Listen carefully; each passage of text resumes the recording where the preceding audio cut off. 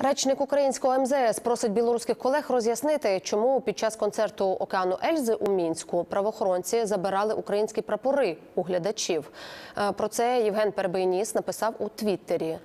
На відео білоруського телеканалу Белсад бачимо, як міліціонер відбирає синьо-жовтий прапор у дівчини і забороняє знімати журналістові. Бери камеру, если ты готов.